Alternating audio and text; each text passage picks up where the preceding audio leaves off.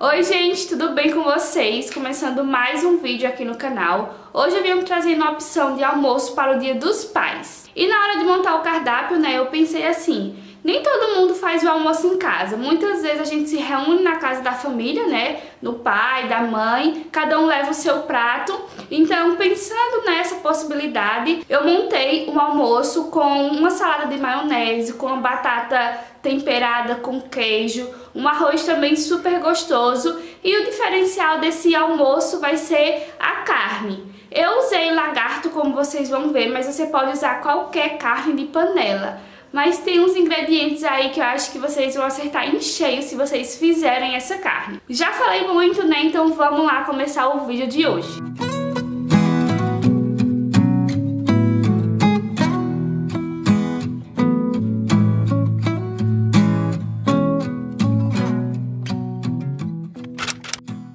Para o arroz, a gente vai precisar de uma cebola média picada, uma cenoura picada, meia latinha de ervilha, duas xícaras de arroz, dois dentes de alho e uma colher bem generosa de manteiga ou margarina.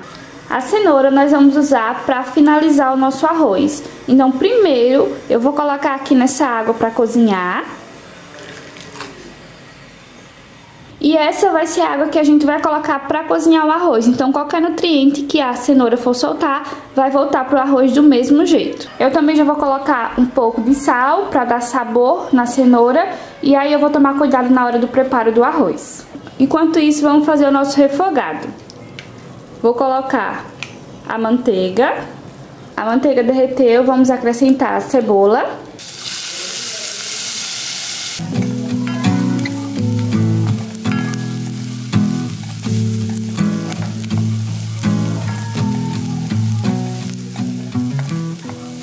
Depois de bem refogado, a gente acrescenta o arroz.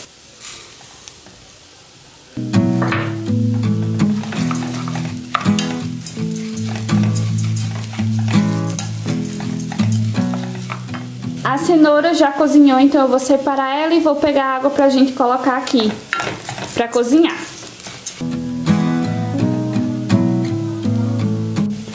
O refogado é muito simples, mas quando você faz com a margarina ou com a manteiga, fica muito bom. Agora eu vou colocar água.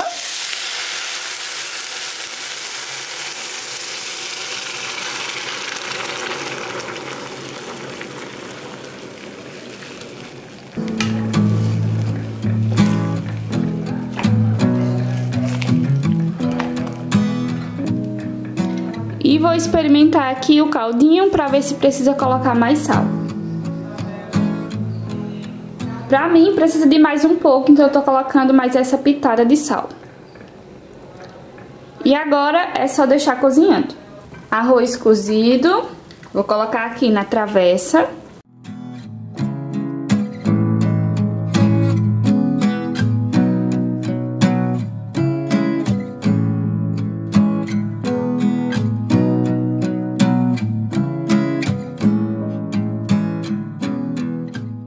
Agora, para finalizar, nós vamos colocar as ervilhas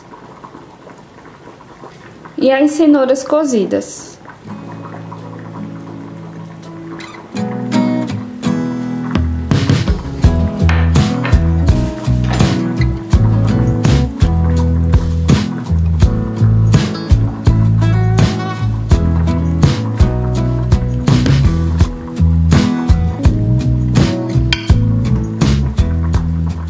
Enquanto eu tava preparando, eu lembrei de uma coisa que dá um charme na apresentação e também no sabor, que é orégano. Então eu vou colocar aqui por cima, pouquinho, viu? É só pra dar uma aromatizada mesmo e fica aquele arroz simples, fica um arroz bem diferente para um dia especial.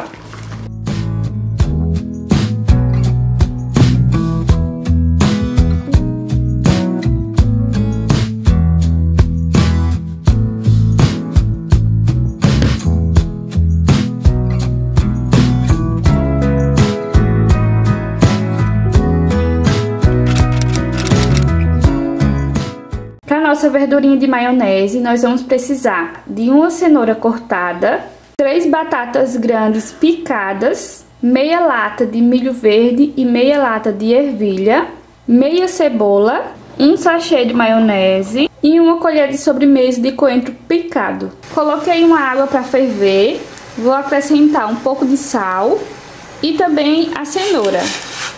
Para essa nossa verdurinha ficar bem saborosa, nós vamos acrescentar também meia cebola. E como a batata demora um pouquinho mais para cozinhar, nós vamos deixar dois minutos a cenoura na água e depois a gente acrescenta a batata.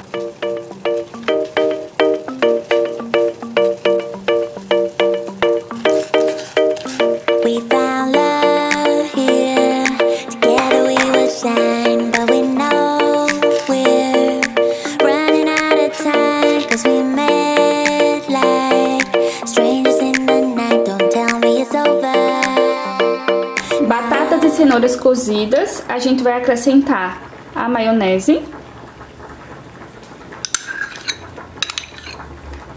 O milho e a ervilha.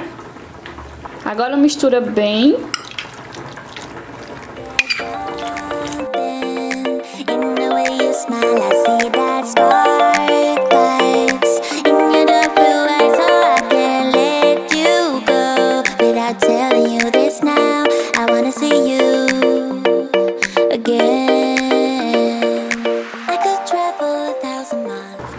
Finalizar, um pouco de coentro.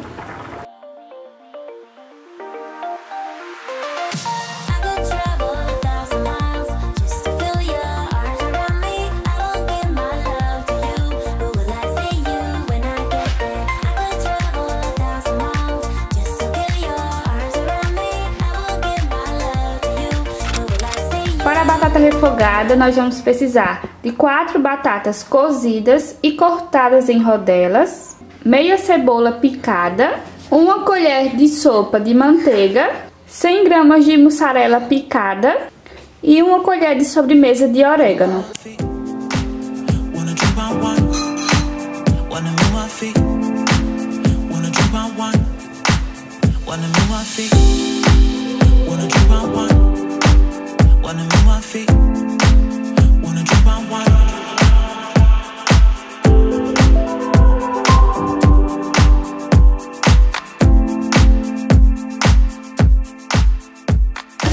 Começa a acrescentar as batatas.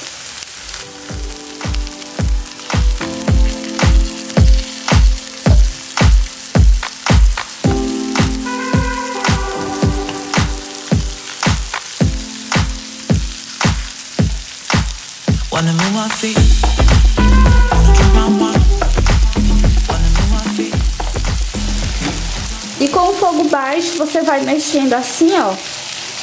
As batatas, elas começam a ter mais cor, ficar mais douradinha.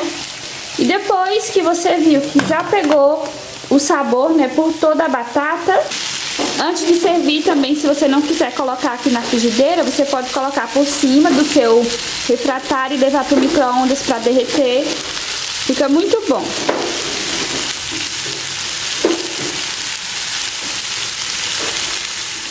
Algumas ficam com o queijinho mais queimado assim, sabe? O que eu acho que fica muito bom. Se vocês preferirem o queijo derretido, depois que você refogar, né, a batata na cebola com a manteiga, você pode colocar na travessa e depois você bota no micro-ondas ou então no forno para derreter. Mas se vocês fizerem assim, a parte que vai pegando no fundo, quando a pessoa, né, for curiosa e pegar para ver o que é, vai ter uma surpresa, porque o queijo fica bem crocante, né? E como eu falei, a batata mais macia fica bem gostoso na boca. E para finalizar, o orégano, que é bem opcional, mas eu acho que também dá um sabor a mais na receita.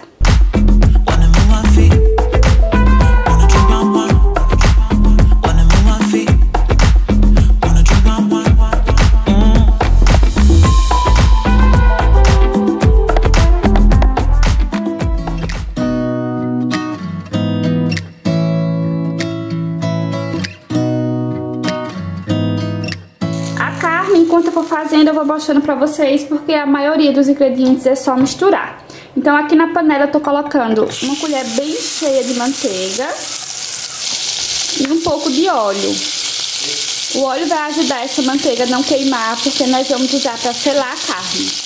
Eu vou colocar para refogar meia cebola.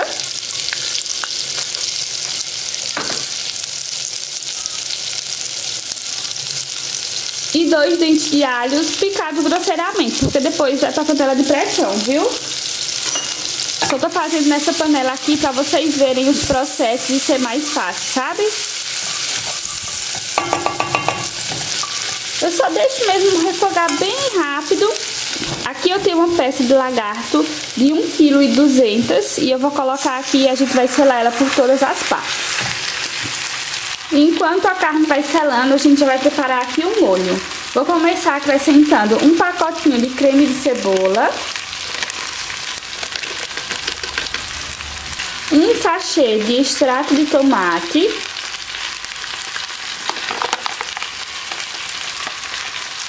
e uma garrafa de 300 ml de cerveja preta.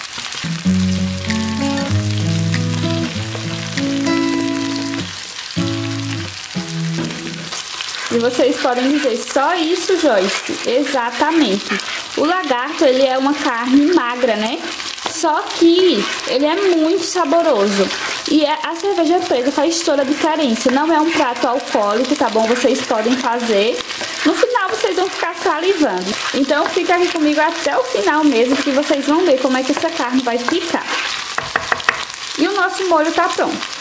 A carne eu já selei ela por todos os lados e agora eu tô acrescentando o sal. Já coloquei na parte de baixo, deu uma virada, né? E agora eu tô colocando mais um pouco. É um pedaço de carne grande e não precisa de sal. No molho que a gente fez tem o creme de cebola que já vem muito sal, né? Mas eu sempre gosto de colocar um pouquinho. Agora, do jeitinho que tá aqui, nós vamos acrescentar o molho.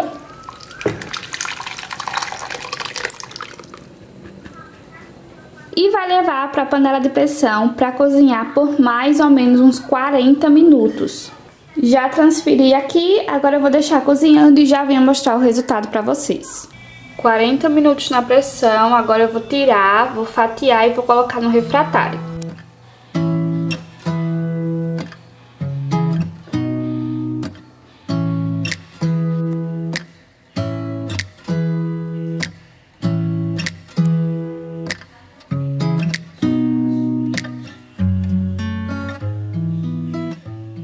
Nosso almoço tá todo pronto. Ali tá a nossa batata refogada com queijo, a nossa saladinha de maionese, o arroz, a carne. E ali tá a minha saladinha. Eu já mostrei ela aqui no canal com o molho de mostarda e mel. Eu vou deixar aqui embaixo se vocês tiverem interesse dar uma olhadinha. Por isso que eu não gravei ela aqui. Mas o nosso almoço tá todo pronto e eu vou montar agora o meu prato.